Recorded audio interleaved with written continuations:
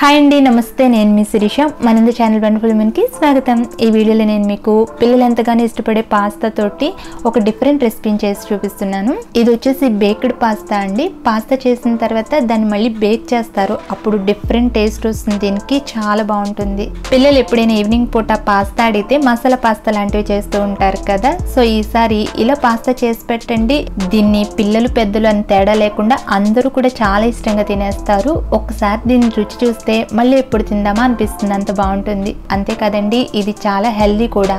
ఈ పాస్తా రెసిపీని చేయడానికి నేను ఇక్కడ ఒక కప్పు పెన్ను పాస్తాని తీసుకున్నానండి. ఈ పాస్తా వచ్చేసి మైదాతో చేసింది కాదు దురం వీటితో తయారు చేయబడింది. సో ఇవి చాలా హెల్దీ. ఫస్ట్ వీటిని ఉడికించుకోవాలి. సో వీటిని ఉడికించుకోవడానికి స్టవ్ మీద ప్యాన్లోకి ఒక కప్పు పాస్తా గాను సుమారుగా ఒకటిన్నర లీటర్ వరకు నీళ్ళు పోసుకుని మరిగించుకోవాలి. నీళ్ళు ఇలా మరగడం స్టార్ట్ అయిన తర్వాత ఇందులో ఒక అర టీ స్పూన్ ఉప్పు ఒక టీ స్పూన్ ఆయిల్ వేసుకుని తర్వాత మనం కొలిచి పెట్టుకుని ఒక కప్పు పాస్తాను కూడా ఇందులో యాడ్ చేసేసుకుని ఉడికించుకోవాలి. ఈ పాస్తా ఉడకడానికి కొంచెం ఎక్కువ టైం పడుతుందండి. పది నుండి పన్నెండు నిమిషాల వరకు పడుతుంది. మీరు పాస్తా ప్యాకెట్ కొన్నప్పుడు దాని వెనకాల కూడా రాసి ఉంటుంది ఎన్ని నిమిషాలు ఉడికించుకోవాలో. దాన్ని బట్టి దీన్ని ఉడికించేసుకోండి. వీటిని బాగా మెత్తగా మాత్రం అస్సలు ఉడికించకండి. బాగుండదు. పాస్తా చూడడానికి స్టిఫ్గానే ఉన్నట్టుండి స్పూన్తో కట్ చేసి చూస్తే ఇలా సాఫ్ట్గా కట్ అవ్వాలి.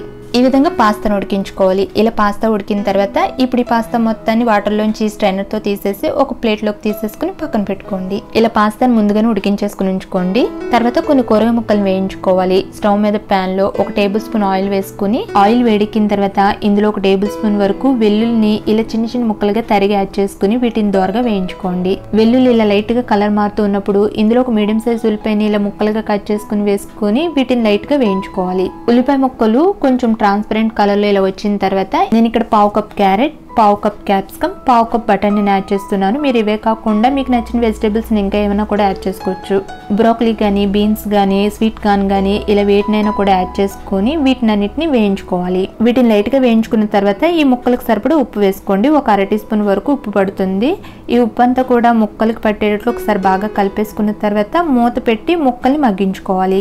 ఈ కూరగాయ ముక్కలు పూర్తిగా ఉడికేంత వరకు మగ్గించుకోకూడదు. ఒక సెవెంటీ పర్సెంట్ ఉడికితే చాలు ఇవి. వీటిని విధంగా వేయించేసుకున్న తర్వాత ఇప్పుడు లాస్ట్గా ఇందులో కొంచెం మిరియాల పొడి వేసుకొని ఒకసారి ఫ్రై చేసేసుకుని తర్వాత దీన్ని అంతా కూడా ఒక బౌల్లోకి తీసేసుకోండి. తర్వాత మనం ఇదే ప్యాన్లో వైట్ సాస్ని రెడీ చేసుకోవాలి. ప్యాన్ ఒకసారి బాగా క్లీన్ చేసేసిన తర్వాత ఇందులో ఒక టేబుల్ స్పూన్ వరకు బటర్ వేసుకుని కరిగించుకోండి. బటర్ అంతా పూర్తిగా కరిగిపోయిన తర్వాత ఇందులో రెండు టేబుల్ స్పూన్ మైదా వేసుకుని మైదాని బటర్లో దోరగా వేయించుకోవాలి.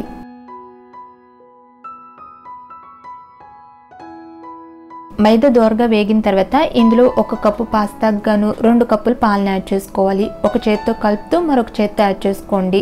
పాలు మొత్తాన్ని యాడ్ చేసేసుకున్న తర్వాత మైదా ఉండకట్టకుండా బాగా కలుపుతూ దీన్ని ఉడికించుకునేసరికి కొంతసేపటికి ఇది చిక్కబడుతుంది.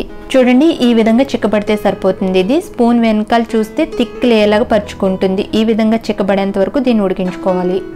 ఇప్పుడు ఇందులో ఒక టీ స్పూన్ మిరియాల పొడి ఒక teaspoon red chilli flakes ఒక టీ స్పూన్ ఆరుగాను వేసుకోండి. ఇవన్నీ కూడా మనకి సూపర్ మార్కెట్లో దొరుకుతాయి. తర్వాత రుచికి సరిపడ ఉప్పు కూడా వేసుకుని ఇవన్నీ కూడా ఇందులో మిక్స్ అయ్యేటట్టు కలిపేసుకోవాలి.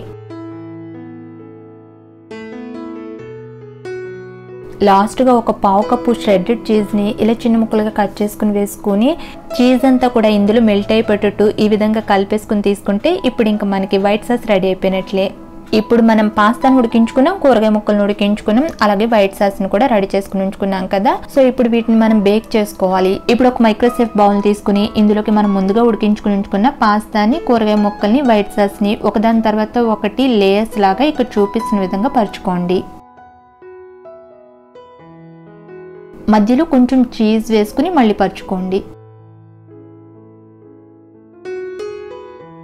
అలాగే లాస్ట్ నా కొంచెం మొజరెల్లా చీజ్ని ఈ విధంగా తురిమి కొంచెం ఎక్కువ టాప్ లేయర్ అంతా కూడా ఫుల్గా కవర్ అయ్యే విధంగా పరిచేసుకోండి. లాస్ట్గా దీని మీద గార్నిషింగ్ కోసం కొన్ని రెడ్ చిల్లీ ఫ్లేక్స్ని కొంచెం ఆరిగానని స్ప్రింకిల్ చేసుకోండి. ఇప్పుడు దీన్ని బేక్ చేసుకోవాలి. నేను ఇక్కడ దీన్ని ఓటీజీలో బేక్ చేస్తున్నానండి. మీరు కావాలంటే ఓవెన్లో కానీ లేదంటే స్టవ్ మీద కూడా బేక్ చేసుకోవచ్చు. ఓటీజీ కానీ ఓవెన్ కానీ అయితే ప్రీహీట్ చేసుకున్న తర్వాత ఈ ట్రైన్ అందులో పెట్టేసుకుని వన్ ఎయిటీ డిగ్రీస్ దగ్గర పదిహేను టు ఇరవై నిమిషాల పాటు దీన్ని బేక్ చేసుకోవాలి. ఇది బేక్ అయిపోయింది. చూడండి ఈ విధంగా బేక్ చేసుకోవాలి. పైన అంతా కూడా లైట్గా అక్కడక్కడ ఇలా లైట్ బ్రౌన్ కలర్ స్పాట్స్ రావాలి. ఈ విధంగా దీన్ని బేక్ చేసుకోవాలి. ఈ విధంగా దీన్ని బేక్ చేసేసుకుని తీసుకున్న తర్వాత దీని మీద మంచి ఫ్లేవర్ కోసం కొంచెం ఎక్స్ట్రా వెజ్జిన ఆలివ్ ఆయిల్ని బ్రష్ చేసేసుకుని తర్వాత సర్వ్ చేసుకోండి.